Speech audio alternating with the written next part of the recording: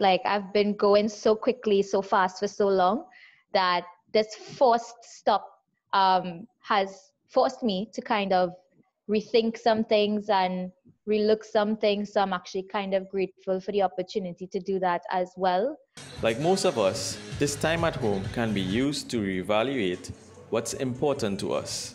For Bella Sukdeo, she has been using the current situation in TNT as an opportunity to develop her craft and embracing digital technologies doing so. I do online classes, I, I, I do tutorials online. Like this week, I uploaded a video of me doing a reggaeton hip hop dance, and that was something that I self taught myself at home, and that was fun. Bella is usually a very active person, managing a full time job in IT, being a fitness instructor, and dancing, which is sometimes sacrificed in order to manage her time.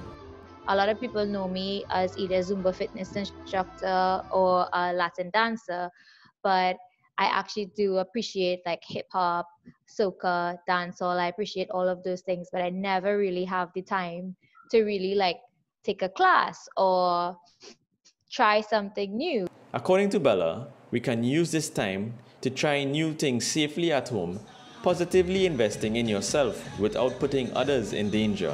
I'm I have not felt the boredom that everybody else has been saying that they've been feeling. I have not felt it. This open mindedness has allowed Bella to continue training with her clients through the use of digital technologies. Likewise, she's also championing the benefits of getting a little loose at home.